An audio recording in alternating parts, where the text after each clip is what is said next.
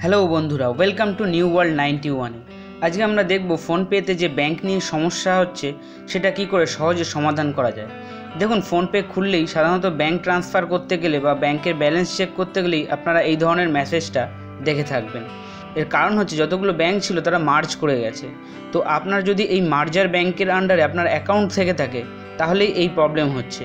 তার কারণ এই যে ব্যাংক মার্জার হয়েছে মার্জারের সাথে এদের আইএফএসসি কোড এবং এমআইসিআর কোড চেঞ্জ হয়ে গেছে। যার ফলে আপনি যখন কোনো ট্রান্সফার করতে যাচ্ছেন বা কাউকে ব্যাংকে টাকা পাঠাতে যাচ্ছেন, তখন এই মেসেজগুলো শো করছে। তার কারণ তখন সেই আইএফএসসি কোডের সঙ্গে ও কোনো ম্যাচ করাতে পারছে না। ফলে এই মেসেজ শো করছে যে আপনার ব্যাংকের সাথে লিঙ্ক নেই এবং লিঙ্ক করাতে। এটা আর কিছুই না, এটা ব্যাংকে গিয়ে এই সমস্যার সমাধান আপনি করতে পারবেন না। এটাকে আপনাকে ফোন পে থেকেই এই প্রবলেম সলভ করতে হবে।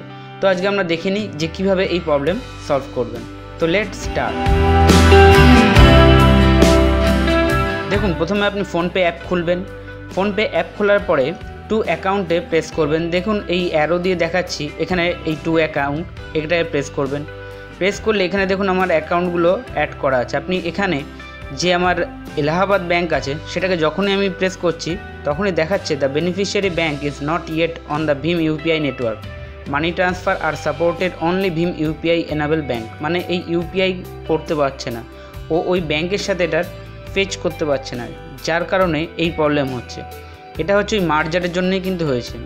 তো এরপরে আপনি এটাকে ঠিক করতে গেলে কি করতে হবে? আপনি এখান থেকে বেরিয়ে আসবেন। বেরিয়ে আসার পর নিচে দেখুন মাই মানি অপশান আছে। এখানে প্রেস করবেন। করার পরে এই পেজটা খুলবে। এখানে দেখুন ব্যাঙ্ক অ্যাকাউন্টস বলে লেখা আছে ইউপিআই এটাই প্রেস করবেন। যেটা আপনি প্রথম যখন অ্যাকাউন্ট খুলেছিলেন, তখন করেছিলেন। খোলার পর আপনার কাছে এরকম একটা পেজ খুলবে। এখানে গিয়ে অ্যাড নিউ ব্যাঙ্কে প্রেস করবেন। করার পরে আপনার আগে যে ব্যাংক ছিল মানে আগে ধরুন আমার এলাহাবাদ ব্যাংক ছিল, আমি এলাহাবাদ ব্যাংকের ছিল যেহেতু প্রবলেমটা সেহেতু আমি এলাহাবাদ ব্যাংক দিয়ে বোঝাচ্ছি। প্রত্যেকটা ব্যাংকে একই রুল হয়েছে। তো আপনি সেটা জেনে নিন। যে ব্যাংকটা যার সাথে মার্জ হয়েছে, এটা তার আন্ডারে চলে গেছে। মানে এলাহাবাদ ব্যাংক ইন্ডিয়ান ব্যাংকের সাথে মার্জ হয়েছে।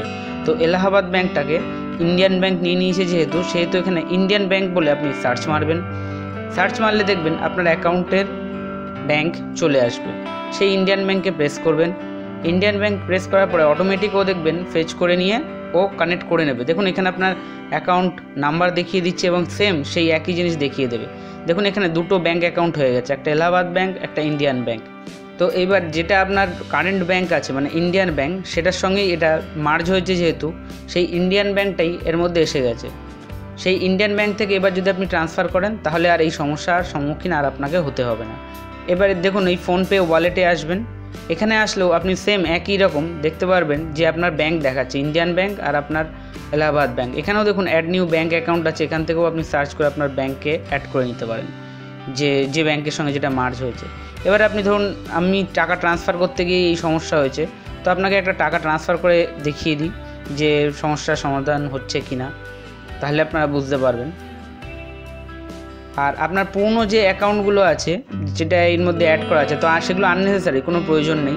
আপনি সেইগুলোকে এখান থেকে যাবেন, গিয়ে এগুলোকে আনলিঙ্ক করে উড়িয়ে দেবেন। তার কারণ নাহলে প্রচুর ব্যাঙ্ক অ্যাকাউন্ট এসে যাবে, আপনার বুঝতে অসুবিধা হবে যে কোনটা লিঙ্ক আছে, কোনটা লিঙ্ক নেই।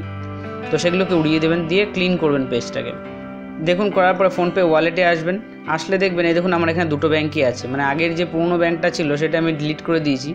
ফলে সেটা আর এখানে আর নেই। এইবার, ধরুন, আমি টাকা ট্রান্সফার করব আমার ইন্ডিয়ান ব্যাংক থেকে অন্য একটা ব্যাংকে তো আমি এখানে সেই ব্যাংক সিলেক্ট করে নিলাম। মানে আপনাদের অ্যাকচুয়ালি এটা করে দেখানোর জন্য যে যাচ্ছে কি না বা তারপরে হচ্ছে কি না সেই কারণেই। তো আমি এটা ইউকোর থেকে ইন্ডিয়ান ব্যাংকে ট্রান্সফার করছি। এক টাকা লিখলাম, লিখে ট্রান্সফারে প্রেস করলাম। করার পরে পাসওয়ার্ড দিলাম, দেওয়ার পরেই দেখুন চলে গেছে। তো এইভাবে আপনি টাকা ট্রান্সফার করতে পারবেন। আর ট্রান্সফার মানিতে যাবেন। যাওয়ার পরে এখানে দেখুন আপনার ব্যাংক যে অ্যাকাউন্টগুলো আছে, যেগুলো আনলিঙ্ক করতে চান, সেগুলো এখান থেকে ডিলিট করে দিয়ে এখানে ফাঁকা করে দেবেন। মানে মার্জ হয়েছে, সেই ব্যাঙ্কগুলো তো এখানে আর রেখে কোনো প্রয়োজন নেই। তো সেগুলো সরিয়ে দিয়ে নতুন ব্যাঙ্কগুলোকে এখানে অ্যাড করে নেবেন। নিয়ে আপনি টাকা ট্রান্সফার করতে পারেন। তো এইভাবে আপনি এই প্রবলেমে সলভ করতে পারেন। এটা ব্যাংকে যেতে হয় না, আপনি ফোনপে থেকেই করে নিতে পারবেন। তো এই হলো ভিডিও শেষ। ভালো লাগলে অবশ্যই লাইক শেয়ার ও সাবস্ক্রাইব করতে ভুলবেন না। ও ওই বেলের ঘন্টিটি প্রেস করে দেবেন। যদি আপনার কোনো অসুবিধা হয় বা কোনো কিছু বুঝতে প্রবলেম হয়, তো নিচে অবশ্যই কমেন্ট করবেন। আমি চেষ্টা করব সেই কমেন্টের উত্তর দেওয়ার। ধন্যবাদ।